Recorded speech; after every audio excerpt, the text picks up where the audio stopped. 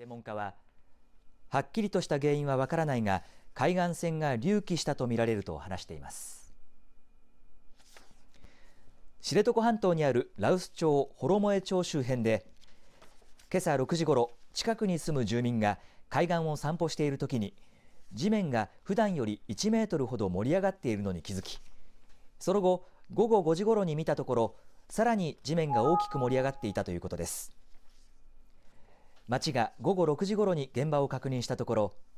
幅300メートル高さ10メートルほどにわたって海岸線が盛り上がっていたということです。警察によりますと怪我をした人や建物への被害はないということです。